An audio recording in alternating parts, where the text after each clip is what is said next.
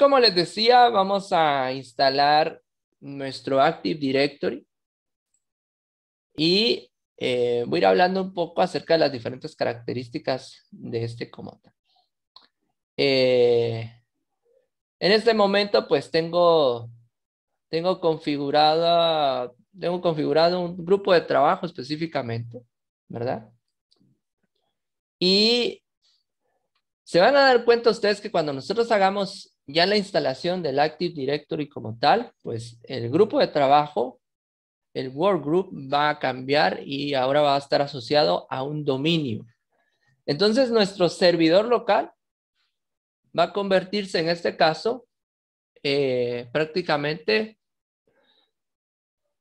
a, un controlador de dominio como tal. Entonces, ahí ya nos va a permitir a nosotros poder venir y trabajar con toda la infraestructura en este caso, eh, desde el Windows Server. Entonces ya vamos a tener mucho mayor control sobre todos los equipos, usuarios, grupos, eh, todo lo que vayamos generando en función al Active Directory. En algún momento, pues ustedes habrán escuchado mencionar algunas definiciones del Active Directory, ¿verdad? En algún momento pueden oír que es una base de datos y un conjunto de servicios que conectan a los usuarios con los recursos de red que necesitan para realizar su trabajo, por ejemplo. Y es por eso que les decía yo que el Active Directory al final pues va a venir y va a controlar todo. Normalmente esta base de datos o directorio, también así lo llaman en su momento, pues, que va a tener la, va a tener la información crítica sobre todo el entorno, la infraestructura que vayan a crear. ¿Y qué incluye? Pues incluye los usuarios, incluye las computadoras que estén asociadas a los usuarios, ¿verdad? Y pues también incluye pues todas aquellas políticas de lo que pueden y no pueden hacer, en este caso, los usuarios que estén conectados al Active Directory. Entonces, por ejemplo, la, la base de datos, ¿verdad? Que está asociada al Active Directory puede contener una lista, por ejemplo, de, de 100, 200 cuentas de usuario, ¿verdad? Y esas cuentas pues van a estar detalladas, va a tener, eh, por ejemplo, el puesto o podemos colocar una descripción de la función, ¿verdad? Los datos personales como el número de teléfono, las contraseñas, ¿verdad? ustedes como administradores pueden, pueden venir, generar contraseñas en función a los usuarios que están creando y también pueden hacer que ellos las cambien al momento de iniciar sesión. Y eso fue un punto que ya mencionamos anteriormente, ¿verdad? Entonces, al final, los servicios del Active Directory vienen y controlan gran parte de la actividad que se, que se va a desarrollar en el entorno de TI, el entorno de TI donde ustedes pudieran estar trabajando en sus momentos y se dedican a la parte de la administración de sistemas. Entonces, la idea como tal, con ustedes como técnicos de TI, pues se van a asegurar de que cada una de las personas sea quien dice ser, y eso se da a través de lo que se le llama autenticación, y ahí y hay algunos elementos específicos del Active Directory que nos van a ayudar a autenticar a los usuarios. Entonces, cuando ustedes vienen y crean los usuarios, pues se va a encargar el controlador de dominio ahora, porque están asociados a un dominio, revisar si esos usuarios realmente pertenecen al, al grupo como tal. Y esto lo van a hacer generalmente por algún identificador de usuario, las contraseñas en este caso que ingresan. Y entonces, en base a eso, ahí se van a establecer los permisos de acceso. Entonces ahí se va a dar la autorización por parte del servidor como tal. Entonces, cuando ustedes ya instalan, ¿verdad? Cuando ustedes vienen e instalan el, el, Active Directory, Domain Service, ya en la parte de herramientas ya van a aparecer características y funciones basadas en un dominio como tal. Ahorita solo tenemos las características de un servidor, del servidor que instalamos como tal pero no hay nada asociado al Active Directory, si ustedes se dan cuenta, no está. Entonces, eso es lo que vamos a ir trabajando. Al final, pues, uno de los objetivos del Active Directory es venir y simplificar la vida de los administradores y los usuarios finales, en este caso, que estén dentro de la infraestructura como tal. Y también, pues, van a ayudar muchísimo a mejorar, en este caso, la seguridad en cuanto a las organizaciones o instituciones que lo utilizan.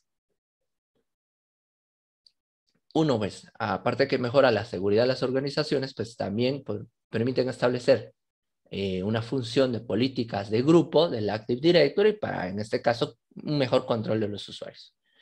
Entonces, los usuarios, puedo venir yo como administrador, crear usuarios, crear grupos asociados a esos usuarios y eh, puedo generar, en este caso, unidades organizativas. Ya lo vamos a ver más adelante. Los usuarios como tal pueden autenticarse, ¿verdad? Y pueden acceder sin ningún problema a cualquiera de los recursos establecidos dentro del dominio en este caso, siempre y cuando estos estén autorizados, estén dentro del, grupo de usuarios de la organización. Toda la información en este caso pues es almacenada en un repositorio central. Donde se puede compartir. Cuando instalemos el Active Directory se van a dar cuenta ustedes que también va a habilitar el espacio para lo que es el servidor de archivos como tal. Entonces eso va a permitir la colaboración entre los diferentes usuarios o los equipos creados por el departamento de TI. ¿verdad? El departamento de TI pues, va a respaldar la seguridad, va a respaldar en este caso las configuraciones de las diferentes cuentas, actualizaciones y todo. Todo dependerá que esté asociado al Active Directory. Uno de los principales servicios, ¿verdad? Del Active Directory, pues en este caso es el Active Directory Domain Service. Es el que les he estado mencionando. Normalmente lo encontramos como ADDS. Y este pues va a venir y va a formar parte del, Windows Server, del sistema operativo Windows Server, a través de esto, la instalación de agregar roles y características. Entonces, por ejemplo, aquí es donde yo empiezo. Vengo yo, le doy clic aquí a administrar, agregar roles y características, damos clic ahí y me va a aparecer el asistente.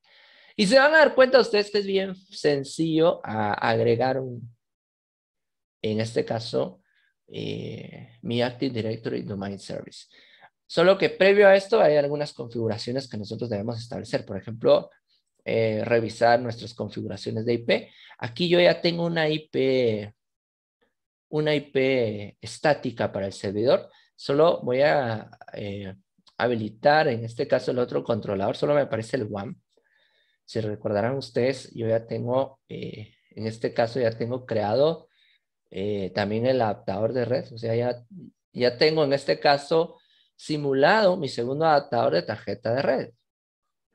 Mientras carga esto, pues entonces yo les hablaba, prácticamente los servicios, en este caso los servidores que ejecutan el Active Directory My Service, normalmente le vamos a llamar, ya no le vamos a llamar un servidor, sino que le vamos a llamar controladores de dominio, o sea, un DC. En su momento, pues las instituciones pueden tener varios controladores de, dominio y cada uno de ellos pues va a tener una copia, ¿verdad? Eh, del directorio para todo el dominio como tal. Y en su momento, eh, en su momento, pues yo les decía a ustedes que eh, podemos tener en este caso asociado a un servidor principal otros servidores y eso lo podemos lo podemos hacer. Aquí tengo deshabilitado el, LAN, lo voy a habilitar y ahí está. Ahí ya lo tengo habilitado. Voy a activarlo. Ahora, ¿por qué lo voy a activar? Bueno, es sencillo. Eh, en este caso, cuando yo esté agregando los roles y características, pues necesito, aquí voy a actualizar. Necesito que estén las dos tarjetas de red para que me las reconozca, ¿sí? Eh, entonces les decía, yo puedo venir, tener un servidor y desde ese servidor administrar otros servidores. Eso lo puedo hacer. Entonces al final pues se va a generar a través de este servidor va a haber un catálogo global, ¿verdad? Entonces mi servidor principal va a ser un controlador de dominio global que va a venir y va a tener toda la información de todas aquellas cuentas de usuarios, eh, datos de servidores que estén asociados a ellos. Entonces, cuando yo ya tengo, yo ya tengo una infraestructura de este tipo, eso se le llama bosque normalmente, un bosque. Y ahorita lo vamos a ver cuando estamos instalando. Pues resulta que, bueno, yo ahorita como estoy haciendo mi primera configuración, a esto lo voy a asociar a un bosque, porque es mi, es mi nodo principal. Pero si, por ejemplo, este es otro servidor que va a estar asociado a un bosque ya existente, pues yo coloco el dominio de, de ese bosque y lo asocio a, ese específicamente. En este caso, pues el Active Directory eh, como tal, ¿verdad? Eh, nos permite la, una administración completa de todos los recursos que nosotros vemos aquí. en su momento, pues alguien por decir, bueno, el Windows Server 2019 o el 2016 se parece mucho al Windows 10, sí tiene muchas características muy similares, pero ya después, ya cuando se instala la, la parte de los roles y las características, ya no es un, un workgroup el que vamos a estar controlando, es un controlador de dominio como tal. Normalmente cuando estamos hablando del Active Directory, pues debemos tomar en consideración que hay tres niveles principales. Los dominios, los árboles y los bosques. ¿sí? lo acabo de mencionar. Un dominio lo puedo considerar como... Es un grupo de, usuarios relacionados, computadoras y otros objetos que están dentro del Active Directory. Eh, en este caso, como todos aquellos objetos que puedan estar dentro de una oficina, no necesariamente solo las computadoras y los usuarios, sino que también impresoras, todos aquellos dispositivos que puedan conectarse a la red. Entonces, esos vamos a considerarlos como objetos. Entonces, todos estos se pueden combinar, ¿verdad? Y, a la larga, pues pueden ser utilizados por varios dominios y, eh, a esto, pues, nosotros lo vamos a llamar un árbol, ¿verdad? Y varios árboles, a su vez, pues se pueden agrupar y esto forma un bosque. Esos términos de árboles y bosques, pues ya suena como algo forestal, pero así se le domina aquí para el Windows Server. El bosque, pues no es más, no es más que un conjunto de árboles, ¿verdad? Y, y al final, ahorita que estamos trabajando esta infraestructura, vamos a crear como que no principal de un bosque. Eso es lo que estamos haciendo. Entonces vamos a ir acá a administrar, agregar roles y características y me aparece el asistente de instalación. ¿sí? Aquí está el nombre del servidor de destino. Aquí me da, mire, eso es lo bonito del asistente, me va dando las explicaciones de qué es lo que debo eh, saber antes de comenzar. Y pues me, me, pregunta también cuál es el tipo de instalación que voy a realizar. En este caso, pues es el de roles y características.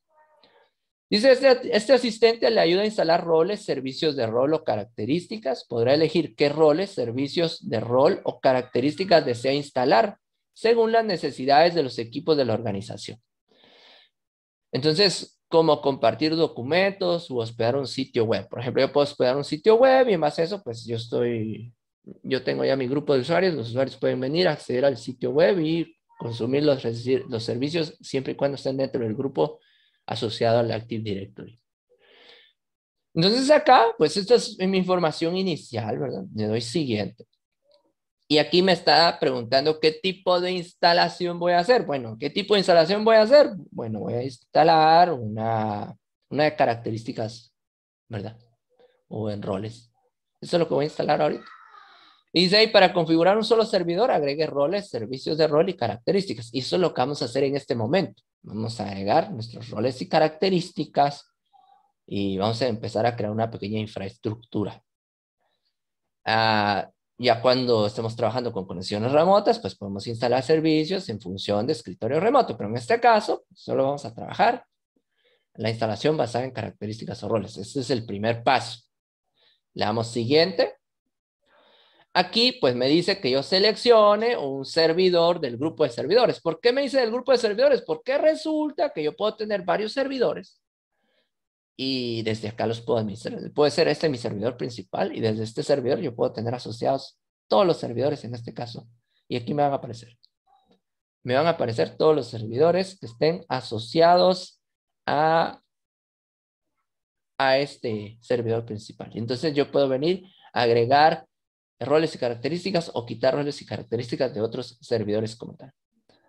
Eh, seleccionar un disco duro virtual. En este caso, pues voy a dejar esto por defecto porque necesito instalarlo en este servidor que es el único que tengo en este, en este momento. Y vean que dice aquí, esta página muestra los servidores que ejecutan Windows Server 2012, una versión más reciente del Windows Server. Fíjense que eh, este, el Windows Server 2019, al, igual que el Windows Server 2016, eh, estos pues ya tienen mejoras considerables en comparación de sus versiones o predecesores, que podría ser el Windows Server 2012 o 2012R. Pero estos, eh, este como tal, pues tiene cierta compatibilidad o permite cierta compatibilidad con servidores anteriores, con sistemas de servidores anteriores desde el desde el Windows Server 2008. Todavía se pueden asociar en este caso a las versiones 2016 y 2019. Bueno, entonces aquí dejo seleccionado el servidor, le doy siguiente y aquí ya me dice los roles del servidor y aquí me va a aparecer el conjunto de roles que yo puedo instalar. El rol de acceso remoto, el Active Directory Lightweight Directory Service. Esta es una versión del Active Directory liviana, ¿verdad? Eh, ojo con esto. Es como un, protocolo ligero, digamos así. Entonces, este al final pues nos puede servir solo para relacionar eh, de forma fácil o venir y crear algún tipo de, directorio activo eh, sencillo y práctico para poder conectar un servidor con, con en este caso, algún bosque específico, ¿verdad? Entonces, si queremos darle, si queremos darle una definición o queremos saber para qué nos sirve, aquí pues nos va dando la descripción de cada uno de estos elementos, ¿verdad? Dice, proporciona un almacén para guardar datos específicos de aplicaciones, ¿verdad? Para aplicaciones habilitadas para directorios que no requieren la infraestructura de servicios de dominio de Active Directory. Por eso es una, versión ligera. En un solo servidor puede existir eh, varias instancias del ADLDS, cada uno con su propio esquema. Entonces, entonces esto pues ayuda a eliminar mucha de la complejidad de un Active Directory completo, ¿verdad? Y pues nos van dando algunas características avanzadas para poder ofrecernos una funcionalidad básica del servicio del directorio sin controladores de dominio, bosques o dominios, en pocas palabras. Eh, y así sucesivamente en los servicios de Hyper-V puedo habilitar el Hyper-V para eh, venir y virtualizar equipos aquí. Entonces llamo una, una red interna virtualizada que, a la que puedo acceder remotamente. Eh, servicios de archivos y de almacenamiento, eh, servicios de escritorio remoto, servicios de federación del Active Directory. Cada uno de ellos tiene ahí su descripción, ustedes lo pueden ir viendo.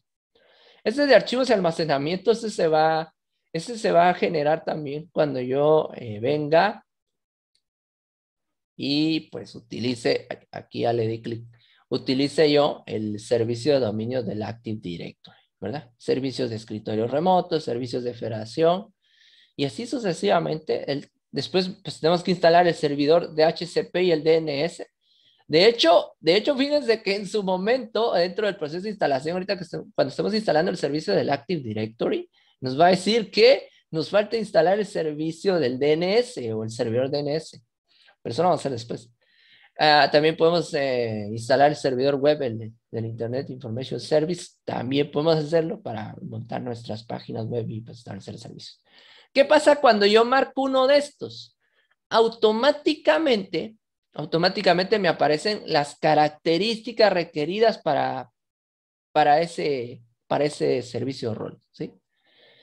Entonces, vean, si yo marco el servicio de dominio del Active Directory, entonces me va a decir que en este caso las características requeridas para el servicio de dominio del Active Directory, pues son estas herramientas de administración remota del servidor, herramientas de administración de roles, herramientas del Active Directory Domain Service y el ADLDS, ¿verdad? Del Active Directory, Lightweight Directory Service.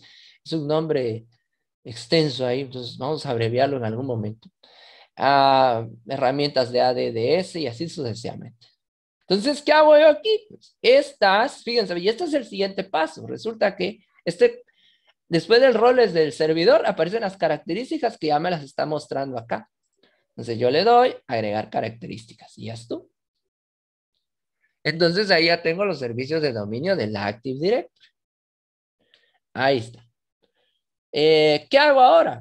Bueno, le doy siguiente. Y aquí miren, ya me pasé las características, pero resulta que las características ya me las marcó, las requeridas. Miren, ya están marcadas.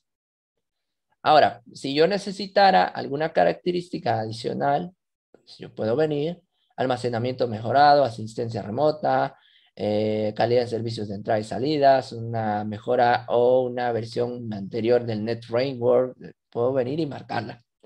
O puedo agregar esas características más adelante, se puede hacer. ¿Qué hago aquí? Pues bueno, Ojo con esto. Si se dan cuenta, el servidor de destino siempre va a aparecer el nombre aquí, dependiendo de cuál escogí, si yo tuviera un, grupo. ¿sí? Le damos siguiente.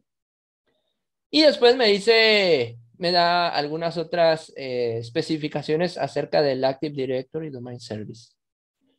Los servicios de dominio del Active Directory pues almacenan información acerca de los usuarios, los equipos y otros dispositivos de la red. Por eso es que, por eso es que dice que tiene una base de datos porque está almacenando toda la información necesaria de los usuarios, las credenciales, los permisos, todo eso está guardando.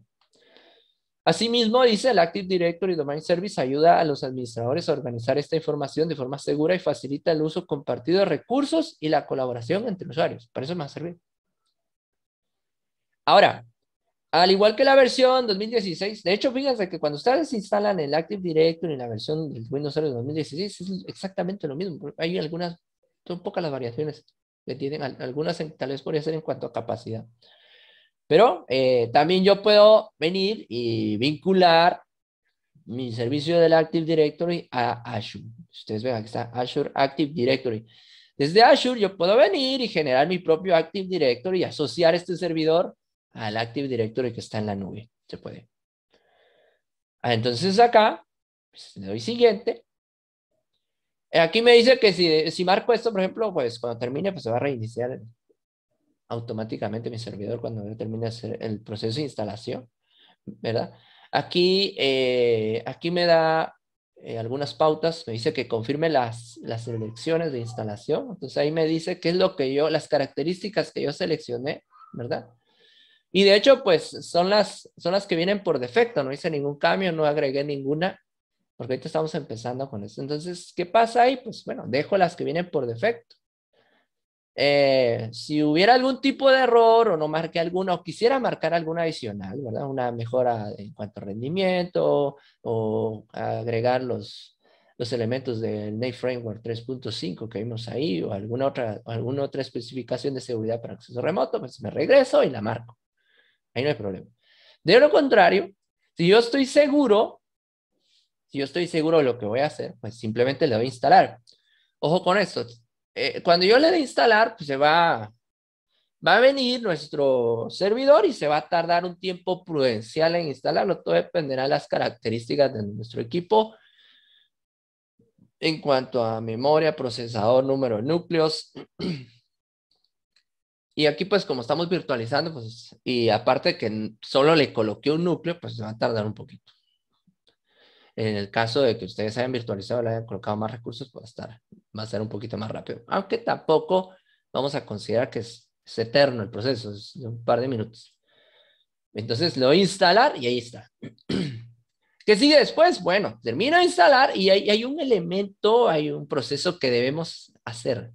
Porque ahorita es cierto, estoy instalando el Active Directory de My Service, yo lo estoy convirtiendo en un controlador de dominio, el servidor se está convirtiendo en eso, pero todavía debo, debo venir y, eh, ¿cómo decirles?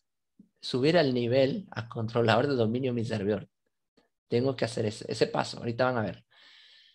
Mientras se instala, pues algunas características. Estábamos hablando de, del Active Directory, estábamos hablando un poquito de la, de la infraestructura, ¿verdad? Sabemos nosotros que pues, tenemos que tomar en cuenta que un dominio pues, va a representar un límite en cuanto a la administración. O sea, hay, hay límites específicos. Los objetos de un dominio, en este caso, pues van a estar almacenados en una única base de datos. Por eso estaba mencionando el hecho que el Active Directory tiene su base de datos. Y pues esto va a permitir que lo podamos administrar. Podemos administrar todos aquellos objetos que estemos creando ahí. ¿Qué considera un objeto? Pues un usuario, una computadora, una impresora. Eso es un objeto. Un bosque pues también puede representar en este caso un límite de seguridad. Eh, este, tenemos el firewall, el firewall en este caso lógico, ¿verdad? Dentro de nuestro Windows Server.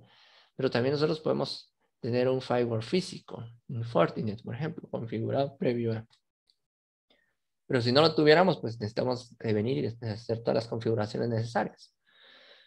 Entonces, los objetos de diferentes bosques, por ejemplo, no, no pueden venir e interactuar entre sí, a menos que los administradores, en este caso, de cada uno de los bosques, creen una relación de confianza entre ellos. Esas relaciones de confianza es la que nos permite realizar la interacción entre los diferentes bosques o los diferentes objetos que nosotros tenemos dentro de toda la infraestructura, en este caso, de servidores.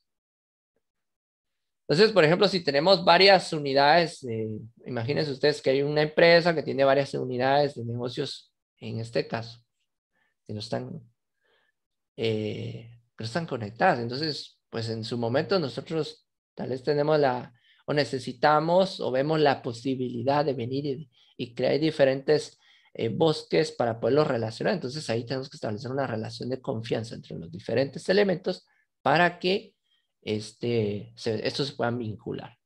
La base de datos, en este caso, la, la, base de datos como tal del Active Directory, ¿qué es lo que contiene? Va a contener la información de los diferentes objetos, ¿verdad?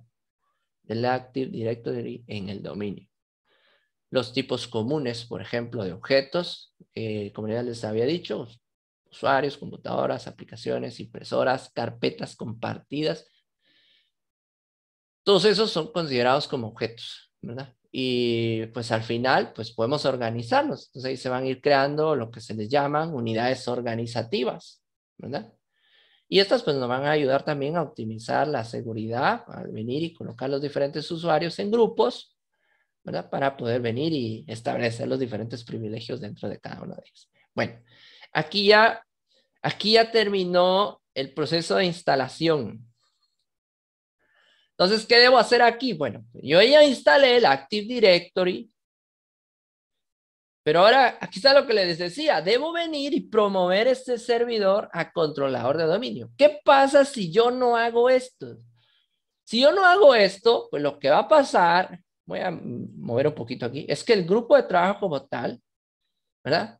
Se va a quedar ahí, va a seguir siendo un workgroup y ya no va a estar asociado a un dominio no lo convertí en controlador de dominio, lo dejé de la misma manera. O sea, voy a tener las características del Active Directory, pero no me van a ser funcionales, porque el servidor no está asociado a un dominio como tal. Bueno, bueno, resulta que me confundí, le di cerrar. Bueno, no hay problema. Aquí le dice que el asistente le va a estar recordando a usted que debe promover el servidor a controlador de dominio. ¿Y dónde está esto? Aquí notificaciones.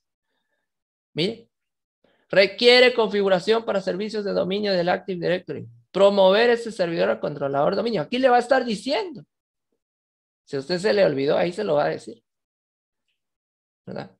Entonces, hasta que usted venga y promueva el servidor a controlador de dominio, entonces va a cambiar del workgroup, de un grupo de trabajo, a un controlador de dominio como tal.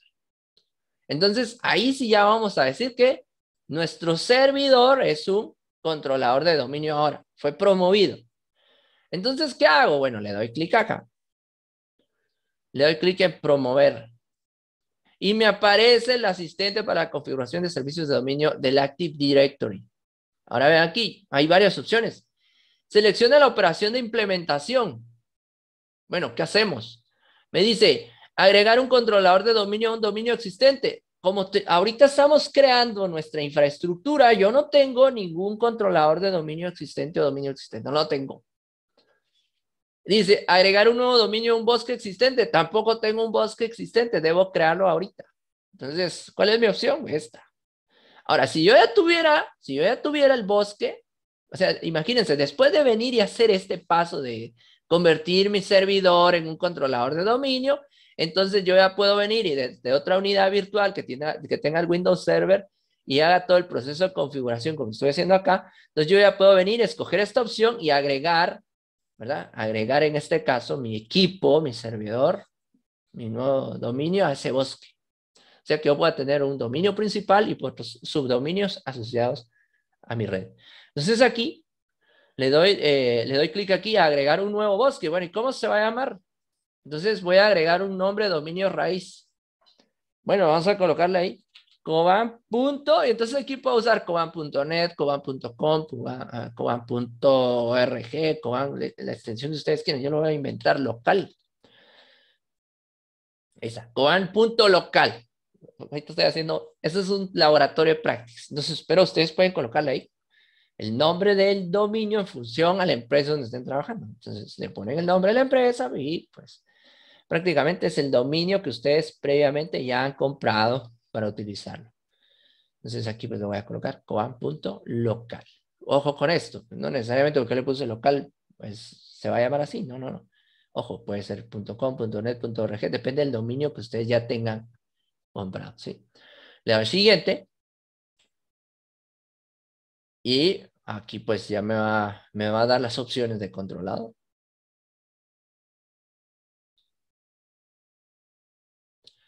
Bueno, mientras carga esto, porque a veces se lleva su tiempo, estábamos hablando de que al final la base de datos almacena los, las características o propiedades, o en este caso los objetos.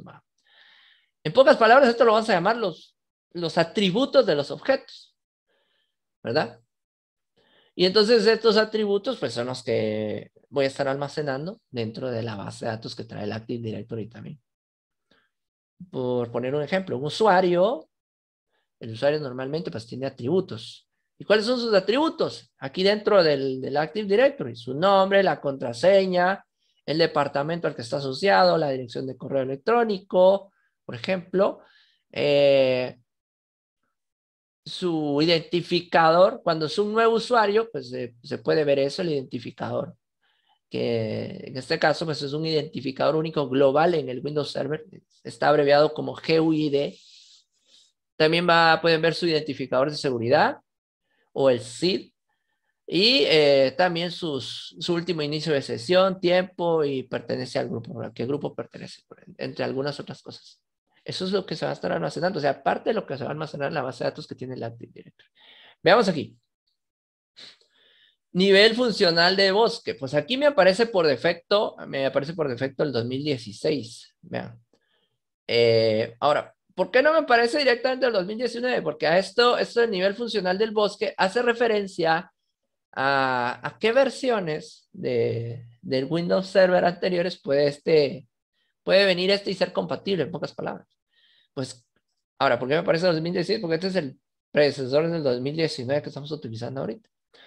Pero imagínense ustedes que la versión que yo tengo otras versiones, 2012, por ejemplo, un 2012 R2 o el 2008, entonces yo marco que me, que me acepte, en este caso, esas versiones. El nivel de funcionamiento del dominio, aquí, pues va a ser 2016. Este sí me va a dejar solo el predecesor, pero el nivel funcional me va a aceptar la conexión con otros servidores anteriores. Ahorita lo voy a dejar por defecto el 2016 esto de las capacidades del controlador de dominio. Servidor de sistemas de nombres de dominio DNS. Esto no lo tengo. Se los mencioné hace un ratito. No he instalado el servidor de nombres de dominio. Entonces, en algún momento me va a marcar una alerta una advertencia que, en el que me indique que yo debo venir a instalar el servidor DNS como parte de los roles y características del servidor. Lo vamos a hacer más adelante. Y el catálogo global GC, esto también pues ya viene por defecto, esto es parte de los elementos que vienen precargados o preconfigurados dentro del servidor, entonces esto no se cambia. Y también tenemos las opciones del controlador de dominio solo lectura, pero este, en este caso este no nos, no nos, va, no nos va a servir, ¿verdad? No, no, lo vamos a utilizar ahorita. Y algo muy importante, la contraseña. Eh, resulta que en su momento eh, yo necesito recuperar mi información o, estoy sacando backups del servidor. Entonces, cuando estoy sacando un backup del servidor, pues vengo yo y voy a necesitar en algún momento utilizar la contraseña y, y el usuario para poder hacerlo. Entonces, aquí debemos colocar una contraseña segura. Si ustedes recordarán, cuando colocamos la contraseña de nuestro usuario administrador, nos pedía ciertas especificaciones, entre mayúsculas, minúsculas, números, símbolos, lo más segura posible. Entonces, lo mismo debemos hacer aquí colocar una contraseña también que no se nos vaya a olvidar o tener un archivo específico con nuestras contraseñas de acuerdo a las cuentas que tenemos. Voy a colocar en este caso la misma contraseña que utilicé con mi administrador. Esto es para que no se me olvide. Ojo con esto, no necesariamente esta contraseña debe ser la misma, ¿sí? La, la pueden cambiar ustedes por seguridad. No conviene también que sea la misma. Y aquí está el error que les decía. No es un error no es un error en el sentido de que me prohíba seguir adelante, no, simplemente me está diciendo que no se puede crear una delegación por este servidor DNS porque la zona principal autorizada no se encuentra. En pocas palabras, no existe el DNS, ¿verdad? Eso es lo que me está diciendo. Eh, puede que en algún punto yo pueda estar instalando también el servidor DNS, también, pero ahorita eso lo vamos a dejar después. Entonces yo lo dejo así, simplemente le doy